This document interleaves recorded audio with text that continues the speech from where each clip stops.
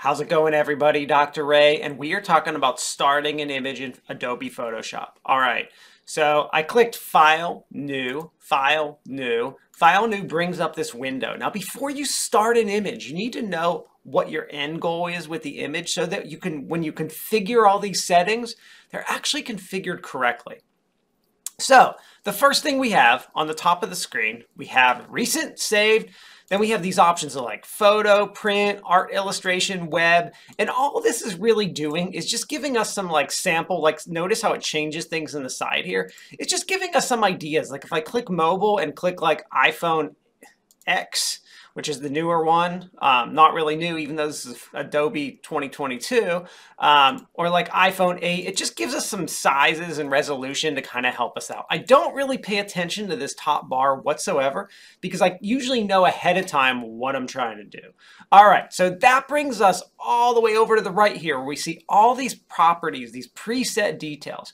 So we can give it a name right now. I typically don't do that, but what I do do is I need to decide um, how big my image is going to be. So I usually typically don't like to use inches. I typically like to use pixels. Um, and I select the size, like 400 by 400. Do I want this to be like an Instagram post, Facebook post? Is this a photo? Like, what is it going to be? I pick my size, my width and my height, as well as my orientation. You can see it flicks around there, but really I'm choosing the width and the height. All right, next important thing, resolution. Now, I used to recommend, if you watch any of my old videos, I would recommend, like, for the web, just picking 150 resolution and for print 300, but I've pretty much changed my mind and typically use 300 for everything now. The reason that I do that is monitors have just gotten so much, two reasons. One, monitors are so much better. Like all my monitors are at least 1080p minimum, if not 4K resolution. And the next reason is that I, it, 300 pixels per inch does increase the file size, but with internet speeds, we don't really have to pay attention to that too much anymore either. So I typically use 300 pixels per inch all the time.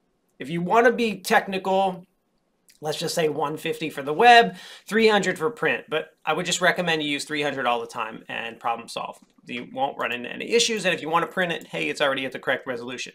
Next thing, color mode. Again, so RGB, the only two color modes I ever use are RGB and CMYK. RGB is for the web. Typically, if I'm using Photoshop, um, usually putting something on the web, I don't really print much, so I'm always using RGB.